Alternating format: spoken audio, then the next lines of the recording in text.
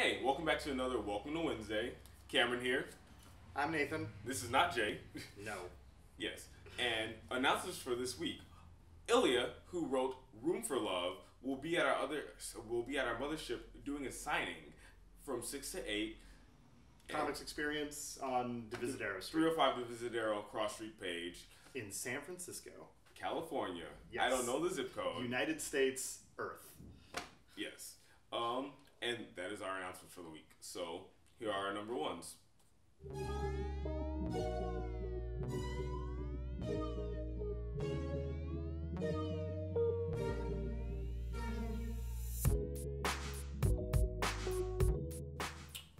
First number one this week Justice League Gods and Monsters Superman.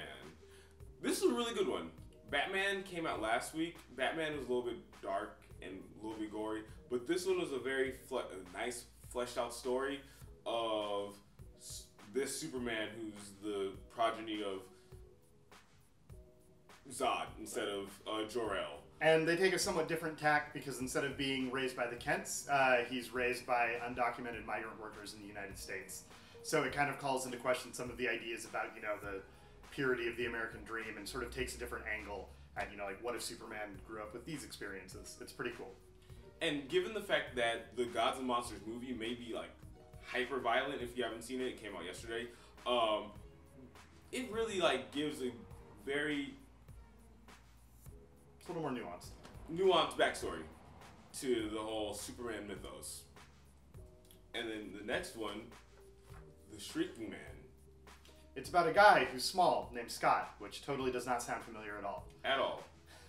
But instead of willingly getting smaller, he got bombarded with a whole bunch of rays, and he shrinks a seventh of an inch every day. It's I enjoyed it. I really like this like first issue because it's dealing with the fact that he's getting smaller and how it affects his everyday life. and the narrative's somewhat non-linear it jumps between like current time where he's very very very small and like back to like him dealing with initially shrinking and that whole process so it's a, a fairly solid setup um, i'm kind of looking forward to see where it goes. And then Hacktivist Volume Two.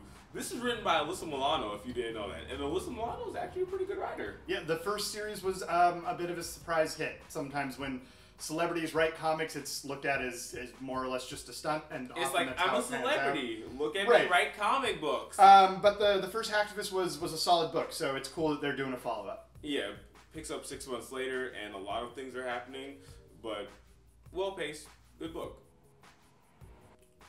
All right, so since there aren't a lot of number ones this week, me and Nathan just decided to go with some of our favorite things for, since it's like halfway through the year. yeah a halfway point retrospective Yay! I wish we had like a montage of like things that we like did over the years with cool theme music right? Um, but Mythic has been one of my favorites this year. I'm a big fan of like lore and like ancient like history, uh, ancient history, ancient mythology and stuff.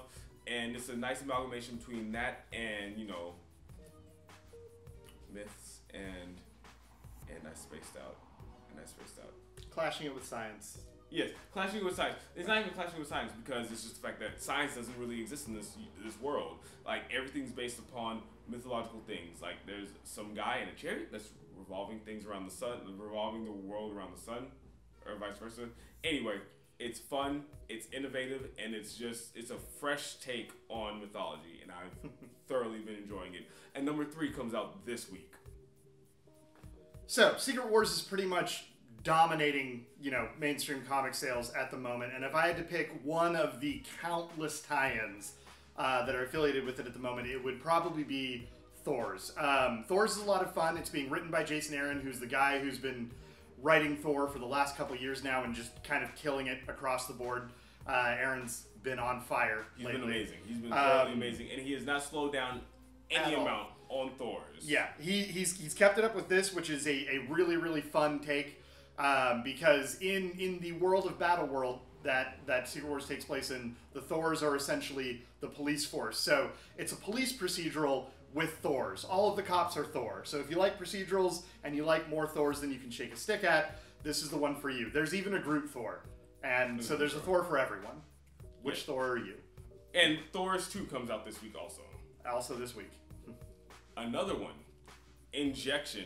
I'm a Warren Ellis slut. Anything he writes, I'm just all over. And Injection, he's definitely just having me slutting it up some more because I've been enjoying this so much. Um, it's a bit of a mystery to as what's happening in this world as of now. But with issue three, you start to find Things out. start to pick up. It, it hits a lot of the typical Ellis beats. There's a, a grouchy, crotchety protagonist. There's a blurred line between science and magic, and he doesn't really bother to get around telling you exactly what's happening until a little ways in to give you time to sort of get to know the characters and get a feel, you know, for for how how they are and their motivations. So when things do start happening, uh, there's weight to it. it. It's just a really good formula, and he's he's knocking it out of the park with it again. Help us, Great Warrior. Help Us Great Warrior is is a great, tons of fun book. It is uh, was originally a webcomic uh, on Tumblr by Madeleine Flores, and getting it, see, seeing it get the the full comic book treatment is pretty exciting. Uh, great Warrior is a, a hero in a, a world of fantasy and magic. Um, although her favorite things to do are lounge around and eat pizza because any any any right thinking living being understands the merits of that. Um, but when push comes to shove, she will pick up her sword and save the world and her friends from what evil, whatever, whatever evil might come their way. and then Bitch Planet by Kelly Sue Planet. Uh, technically, this started at the very end of the year last year, but we're gonna give it give it a little like, bit whatever. of a pass. Yeah. Um, this is just, in my opinion, probably the best, coolest thing that's happening right now. Uh, it takes the uh, women in prison exploitation genre and kind of turns it on its head by telling the story from an intersectional feminist perspective and really kind of deconstructs the genre. And there's just a lot of really great, like, um, you know, analysis of character archetypes and, and things like that. And it really breaks down a lot of like complex social interactions into something that's also just crazy entertaining. It's a great book. Probably, probably Kelly Sue DeConnick's opus. All right, going along the going along down, going along down, going down memory lane for the past year of like amazing comics that have come out. Half half a year For 2015, for 2015. so far. So far, halfway where we are. Yes. Uh, we have two graphic novels, and they are both set in San Francisco, surprisingly. Which is pretty cool. Yeah.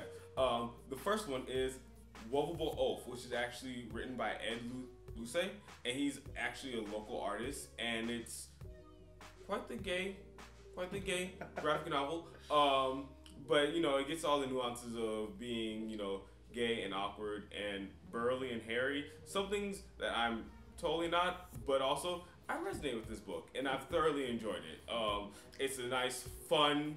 Yeah, it's a lot of fun. I It's, like. it's, I hella fun. laugh. It's goofy. It's like goofy. out loud laugh reading it. It's gay and goofy. So if you like gay and goofy, like graphic novels, this is what you should be reading now. And then our probably is probably one of our like it is our favorite.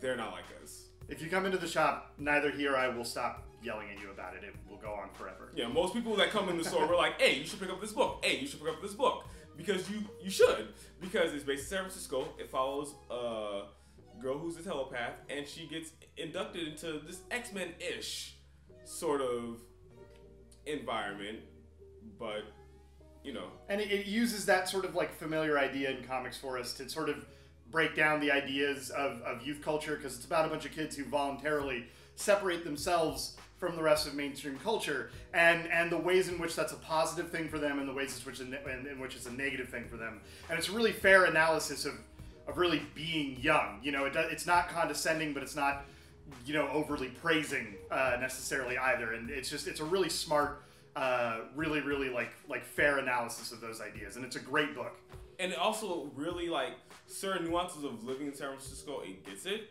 and I thoroughly enjoyed that fact. Like just the little things like having like the Muni depots like drawn into because usually most things in San Francisco doesn't look like San Francisco ever.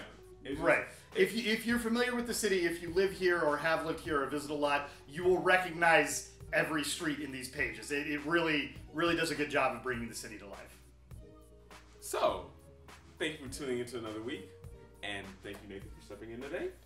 Yay! Yay! I'm here. so, once again, if you guys have any questions, concerns, or suggestions for our future videos, hit us up on our Facebook, Tumblr, Twitter, or Facebook pages. Did I say Facebook twice? You said Facebook twice. Said- This is on YouTube. They could comment on the YouTube video. You can comment on this also. YouTube can. YouTube comics are comments are a horrible and terrifying world. But if you want to say something They're to us there, we will we will see it. We'll see you. so yeah, um, have a wonderful week, and we will see you later. Bye.